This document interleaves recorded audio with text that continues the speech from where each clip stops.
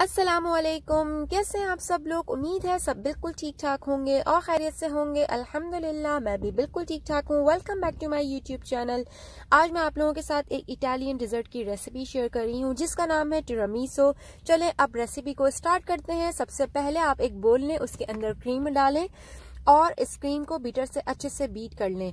इसको साइड में रख दें। सॉफ्ट पीक्स आने तक बीट करना है, ठीक है? इसको साइड में कर दें। अब हॉट वाटर लें। किसी बोल में उसके अंदर कॉफ़ी को डालें और उसको डिजोल्व कर दें। इसको भी साइड में रख दें।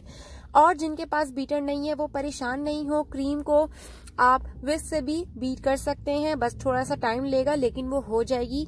इसमें कोई बड़ी बात नहीं है, कोई टेंशन की बात नहीं है, ठीक है जी? इसमें जो चीज़ें चाहेंगी, उसमें एक ये है स्पंज फिंगर्स ये मैंने टू पैकेट्स लिए हैं। मार्स कपोना चीज़ का ये पूरा बोल इसमें जाएगा। कोको पाउडर जाएगा और कॉफ़ी जाएगी। ठीक है, इन तमाम चीज़ों की क्वांटिटी मैं डिस्क्रिप्शन बॉक्स में मेंशन कर दूँगी। तो परेशान नहीं होइएगा, ये बहुत इजी और बहुत मज़े का डिजर्ट है, ये आप ज़रूर बना के ट्राई कीजिएगा। अब हमें क्या करना है, हमने जो क्रीम बीट की थी, उसके अंदर आपने डालनी है मार्स कपोना चीज़ ठीक है? इसको डालने के बाद आप स्पून वेस बीटर या कोई भी स्पैचुला लेके, कोई भी चीज़ से आप इसको हल्के हल्के से अच्छे से इसको क्रीम के अंदर मिक्स कीजिएगा। क्रीम के अंदर जब ये मिक्स हो जाए तो आपने फिर डालनी है इसके अंदर चीनी।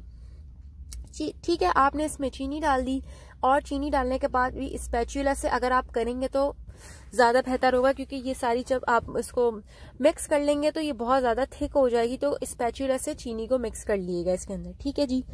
इसको कर लें आप साइड में। ये आपकी लेयर लगाने के लिए क्रीम रेडी हो गई है। अब आपने लेडी फिंगर बिस्किट लेने हैं।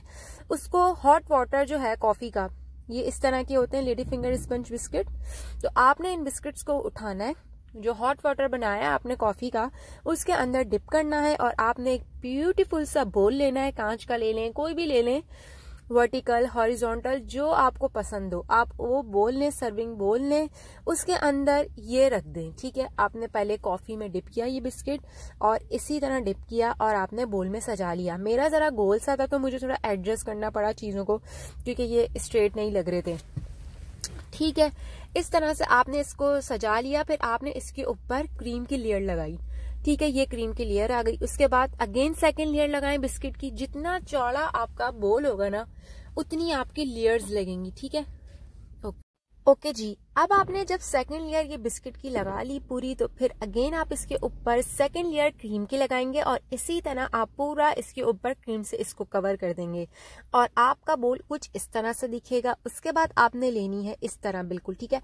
उसके बाद आपने लेना है चाय की छन्नी जो होती है ना, छोटी वाली, उसके अंदर आपने कोको पाउडर डालना है। और आप इसके पूरे ऊपर डस्ट कर देंगे इस तरह से, ठीक है? ये हो गया, अब आप इसको फटाफट से रख दें फ्रिज में फॉर ओवरनाइट ये बिल्कुल पूरी रात फ्रिज में रखिएगा, रात में बना लीजिएगा, अगर आपके घर दूसरे दिन मेहमान आने वाले हैं तो आप ये रात में बना के रखें और चिल करें। चिल करने के बाद ये इस तरह से हो जाएगा और ये बहुत मज़े का बना था आप लोग भी बनाएँ, अपनी फैमिली के साथ शेयर करें, खुश रहें, आबाद रहें। अगर इससे रिलेटेड आपको कोई प्रॉब्लम है तो मुझे बता दिएगा, मुझे कॉमेंट सेक्शन में बताएँ। मैं आपकी हेल्प करूँगी ज़रूर इनशाला अगर आपको केक बनाना है और इमरजेंसी हो गई है केक नहीं बना सकते, आप इसे एज अ केक भी यूज़ कर सकते यूज़ कर सकते हैं किसी की बर्थडे में। तो आप लोग ट्राई कीजिएगा, बहुत मज़े का बनता है, आप लोगों को अच्छा लगेगा। उम्मीद है आपको आज की रेसिपी पसंद आई होगी। इनशाला एक और वीडियो के साथ दोबारा हाजिर होंगी। तब तक के लिए मुझे इजाज़त दें, अपना बहुत सारा ख्याल रखें, मुझे दुआ में याद रखें। अल्लाह हाफिज।